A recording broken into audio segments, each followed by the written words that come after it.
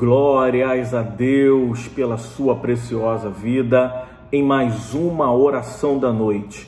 Na oração da noite de hoje, olha para cá, eu tenho algo muito profundo para te entregar e eu quero te revelar tudo, tudo aquilo que o Espírito Santo de Deus falou comigo para declarar sobre a tua vida divinas revelações do Pai para você.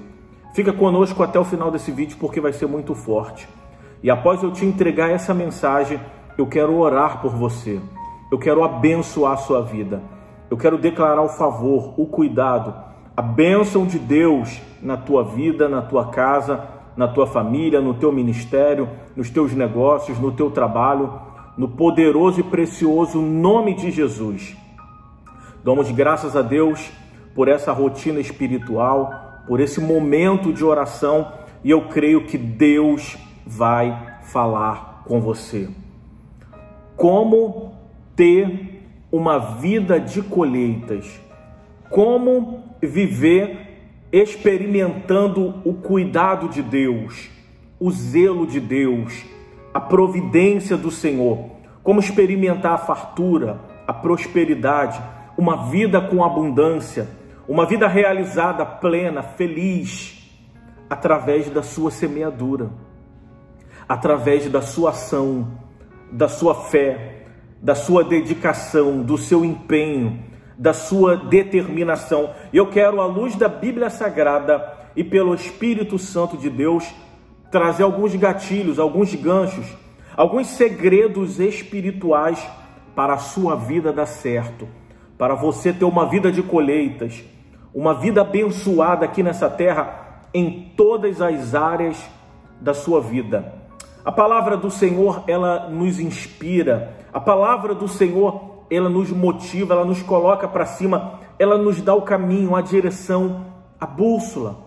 É o verbo vivo, é o nosso Pai, o nosso Deus, nos instruindo, nos ensinando para vivermos tudo aquilo que ele tem designado para o teu destino, para que você viva os projetos e propósitos do Senhor aqui nessa terra. E tem muita gente que está se perguntando, pastor, como eu posso ter uma vida abençoada? Muda hoje a sua rotina, muda hoje algumas áreas da sua vida e comece a semear. Em primeiro lugar, eu tenho alguns segredos espirituais, vai ser muito forte. Mas o primeiro deles, vamos começar com esse que é o principal. Isso muda tudo na nossa vida. Tenha uma rotina espiritual de oração. Priorize Deus. Coloque Deus acima de todas as coisas. Não é simplesmente orar por orar, mas sim em uma rotina espiritual com propósito. Você tem um horário certo e nós estamos aqui nessa rotina três vezes ao dia às 5 horas da manhã com a oração do dia, às 6 horas com essa oração da noite e à meia-noite. Se você não é inscrito, se inscreva no canal, é de graça, não custa nada. Vai aparecer um sininho do lado, você clica em todas, tá bom? Para você fazer parte dessa rotina espiritual. Isso pode mudar a sua vida por completo, em todas as áreas da sua vida, vai proporcionar paz, alegria, certeza, confiança, intimidade com Deus. Você vai colocar diante de Deus as suas ansiedades, petições, dúvidas, inseguranças, problemas. Ele é Deus. Muito pode a oração do justo em seus efeitos.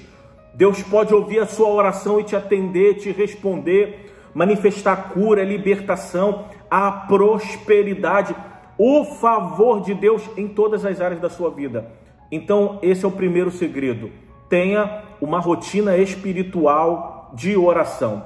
Eclesiastes, Eclesiastes capítulo 11, versículo 4 diz assim, é muito profundo.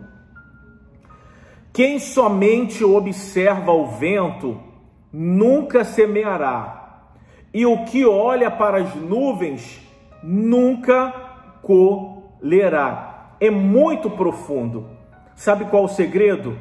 É não ficar observando, é não ficar olhando a vida alheia, é não ficar olhando para o tempo e vendo o tempo passar. Porque se você olha para as nuvens, se você fica olhando para o vento, se você fica olhando para a vida de fulano, de Beltrano e de Cicrano, a tua continua da mesma forma, não anda, não segue, não avança, você não progride, você você fica ali estagnado, parado, porque você está olhando e tem gente que às vezes pensa dentro de si, ó oh, céus, ó oh, vida, por que, que isso está acontecendo comigo? Ação, movimento, atitude, fé. E Deus te trouxe aqui para que você comece a manifestar a sua fé, agindo, semeando. Se você olha para o tempo, se você olha para as circunstâncias, para os problemas, você não semeia, você não se dedica. Aleluia, aleluia. A colheita sempre ela é proporcional à nossa semeadura, aquilo que você está fazendo. E talvez esse seja o terceiro segredo espiritual: semeie o amor, semeie a honra. Isso, semeie a sua alegria, já acorde de bem para a vida, dando bom dia, beijando o seu esposo, honrando a sua esposa, levando um café da manhã para ela. Aleluia, glórias a Deus. Isso, já mereço um like aí, não é? Aleluia, isso. Já, já, já acorde durante o seu dia, já na rotina espiritual de oração, adorando a Deus, agradecendo a Deus por esse dia e já comece semeando essa paz. Aleluia, esse fervor, essa alegria que está dentro de você, proporcionada pelo Espírito Santo, essa paz. Ainda que você tenha um problema, uma pendência, algo para resolver, coloca diante de Deus em oração, mas levanta a tua cabeça, respira fundo, aleluia, porque agora você começou o dia e é momento de você começar a semear. Pega essa revelação, olha para cá, pega esse segredo espiritual, não fica olhando para o tempo, para as circunstâncias, para as coisas que estão acontecendo. Esse é o seu tempo de semeadura. E quando nós semeamos, nós colhemos de acordo com a nossa semeadura. Porém, porém tem um detalhe: quando você semeia baseado na palavra de Deus, seguindo a revelação e a instrução do Espírito Santo e em uma terra boa, em uma terra que Deus te plantou, em uma terra que Deus designou para a tua vida, a colheita pode ser sobrenatural. Porque na verdade a pessoa ela colhe proporcional àquilo que ela semeou. Porém a Bíblia nos revela que Isaac semeou na crise. Isaac semeou na terra dos filisteus. Hum? Ele não estava na terra da promessa maravilhosa. Ele semeou na terra do inimigo. Em um momento de crise, de dificuldade, ele se lançou, ele semeou, confiou na palavra de Deus. A Bíblia nos revela que ele colheu a cem por um. Cem por um. Meu Deus do céu, você recebe aí? Aleluia! Vai ter colheitas sobrenaturais sobre a tua vida. Semeie. Acredite. É como eu costumo dizer e já declarei isso. Não é a semente não é a quantidade da semente, mas é na mão de quem você coloca, meu Pai eterno. Você lembra dos cinco pães e dois peixinhos? Para alimentar uma multidão não era suficiente, mas colocaram diante do Mestre, diante do nosso Senhor Jesus, e Jesus multiplicou, aleluia! Não vai ter falta na tua vida Vai chegar um tempo de multiplicação, de restituição, de favor, de bênçãos inigualáveis sobre a tua vida, porque quando você semeia confiando em Deus, confiando na palavra, isso é em qualquer área da sua vida. Ou Deus pode proporcionar na mesma medida que você semeou, aleluia, glórias a Deus, porém, ele não permite falta ele não permite a perda, sabe? Aquilo é no ponto de equilíbrio, é o pão de cada dia, o que você precisava para resolver os seus compromissos, para sustentar a sua família. Você já experimentou isso? Fala comigo aí, meu irmão, minha irmã. Você pensou que não ia dar, você pensou que ia faltar, mas chegou no final do mês, foi redondinho, foi certinho, a conta, risca, não teve desperdício, não teve perda. Porque às vezes a pessoa ela ganha muito, mas ela gasta. sabe? Ela gasta com diversas formas. Hã? É verdade. Às vezes é algo que ela precisa consumir, é uma doença que ela precisa tratar, é um juros que ela está pagando, e aquilo vai tirando a fatia do bolo, tá entendendo? É uma outra pessoa que ela tem que atender, a outra que ela socorre ali, e ela não vive a plenitude. Sabe, quando você semeia confiando na palavra de Deus, você pode receber na mesma medida, porém aquilo te sustenta, aquilo é suficiente, ou Deus pode trazer em boa medida recalcada, sacudida e transbordante. Assim como foi na vida de Isaac, colheu a cem por um. Assim como o Senhor Jesus fez com os cinco pães e dois peixinhos, multiplicou. A Bíblia nos fala a respeito do grão de mostarda, muito pequeno, pequenininho, porém se torna uma árvore muito grande. Meu Deus do céu! aleluia! Aleluia! Glórias a Deus! Eu quero te entregar alguns outros segredos que se você começar a semear hoje, se você começar a mudar na sua rotina, do seu dia a dia, você pode colher frutos abençoados e abençoadores. Aleluia, glórias a Deus. O que você pode substituir? O que você pode mudar? Sabe, talvez você seja ou conheça alguém que só tenha pensamentos negativos. Hum? que só pensa em derrota, em tristeza, no problema, converta. Muda esses pensamentos por pensamentos positivos, pela certeza, pela fé, pela confiança. Ou talvez você pensa demais. Como diz a palavra, você fica olhando para o tempo, você pensa, você medita, você espera muito, sabe? É momento de você agir, de você decidir, mas você é uma pessoa muito organizada, muito planejado e talvez o que estava faltando era você agir, era você se lançar, era você executar, usar a sua fé. Então converta, converta algumas atitudes na sua vida, comece a semear isso e isso pode fazer toda a diferença. Pensamentos negativos não, pensamentos positivos. Ficar olhando para o tempo não, executar, agir fazer, aleluia, para que você dê a volta por cima. Sabe com quem você se relaciona? Com pessoas que te colocam para baixo? Com pessoas que ficam falando mal dos outros? Se elas falam mal de outras pessoas para você, você vai ser a próxima pessoa que vai estar na língua dela. Ela vai falar de você para outras pessoas.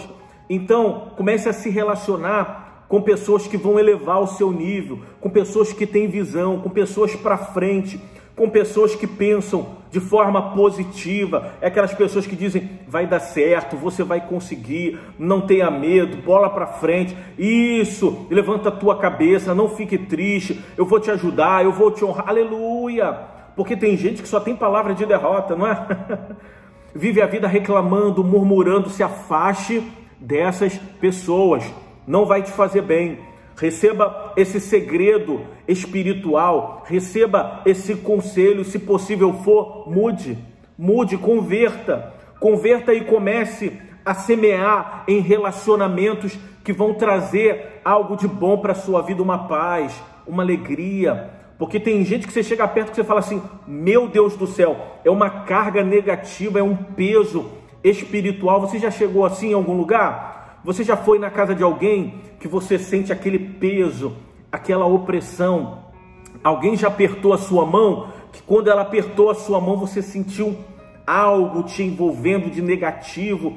Tem gente que quando você chega perto dela é uma tristeza, é aquela cara de ódio, de raiva, tá sempre trincando os dentes, não tem um sorriso.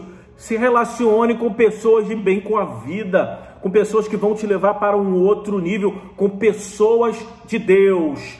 Outra chave, pega aí, vai pegando porque eu ainda quero orar contigo, aleluia. Está sendo profético, está sendo profético, aleluia. Outro segredo espiritual, para, para de perder tempo com novelas, com sites que ficam falando da vida de outras pessoas. Talvez você gasta muito tempo vendo séries, filmes, novelas, o dia inteiro em algumas redes vendo sobre a respeito da vida de outras pessoas. Comece a aplicar esses minutos Talvez você passe horas fazendo isso. Pegue alguns minutos e reserve para você orar, para você meditar na palavra de Deus, para a leitura da palavra de Deus, para você ler bons livros, livros de Deus que vão mudar a sua vida, que vão te levar para frente. Isso vai fazer toda a diferença. Você está alimentando a sua mente, o seu coração. Meu Deus do céu. Talvez tem gente, outro segredo, que está buscando, às vezes é jovem ou tem um pouco de idade, mas só que por mais que você tenha um pouco de idade, você tem força para trabalhar, para se lançar, você quer ter um futuro abençoado. Você sonha em conquistar aquilo que Deus te prometeu. Aleluia. Para você não tem tempo ruim, não. Você quer produzir, você não quer ficar parado olhando para o tempo. É na é verdade? Tem gente que é assim, predisposta. Hum? Aleluia. E tem gente de idade, fala comigo aí, que trabalha mais do que essa juventude. Estou falando alguma bobagem? Tem gente de idade que dá nó em pingo d'água, que trabalha, que tem uma inteligência, tem um raciocínio, tem coragem, tem força, tem experiência. Você é capaz.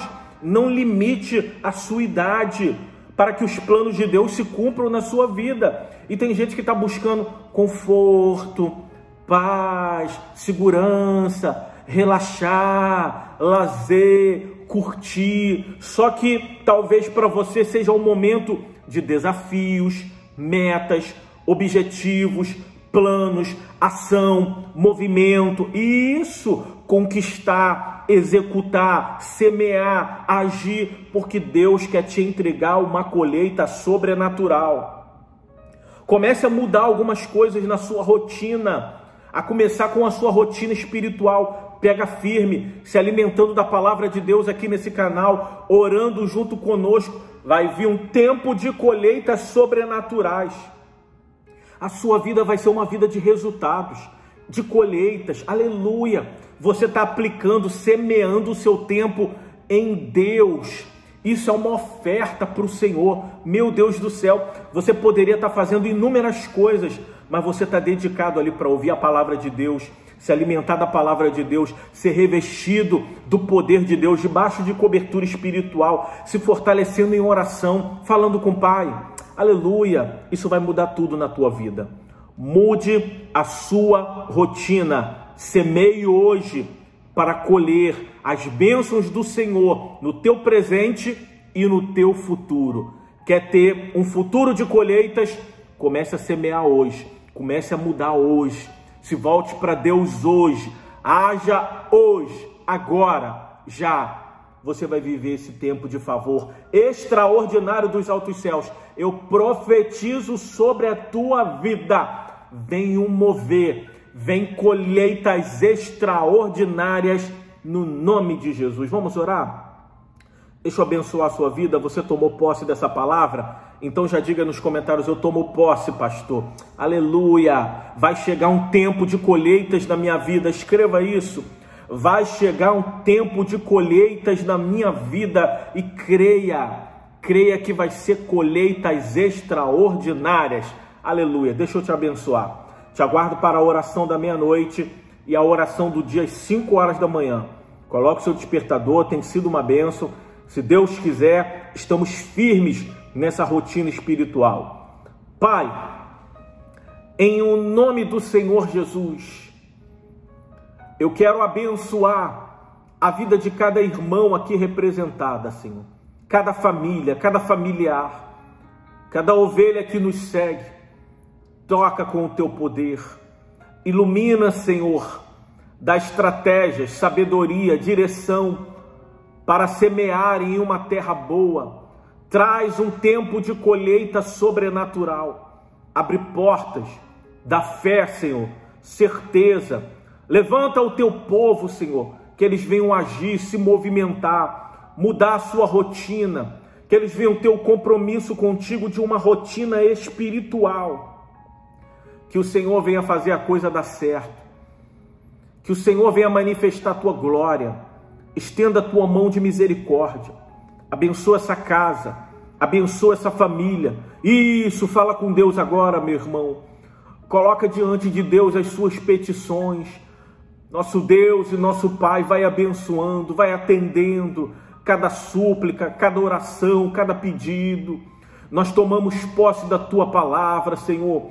O teu povo quer viver o extraordinário, honra a vida financeira, a vida material, honra, Senhor, os propósitos, o trabalho, Senhor, aquilo que eles têm plantado, aquilo que eles têm semeado, toda dedicação, todo esforço, todo empenho, que não venha ser em vão, que venha chegar a dupla honra, a tua graça, a multiplicação traz a cem por um, Senhor. Opera sinais, prodígios e maravilhas, vai manifestando a cura, a libertação, o batismo com o Espírito Santo, traz a vitória no casamento, na família, na vida do filho, dos pais, dos entes queridos, cada pedido de oração, cada súplica, Senhor, meu Deus e meu Pai, vai tocando, vai agindo com o teu favor, com a tua graça, porque eu declaro a bênção do Senhor nessa oração da noite. Sejam abençoados, sejam abençoados. Eu declaro o cuidado de Deus, a multiplicação e uma colheita farta e abençoada em nome do Pai, do Filho e do Espírito Santo, e você diz: Eu tomo posse, graças a Deus. Fica com a paz de Cristo. Até os próximos vídeos, se Deus quiser. Amém.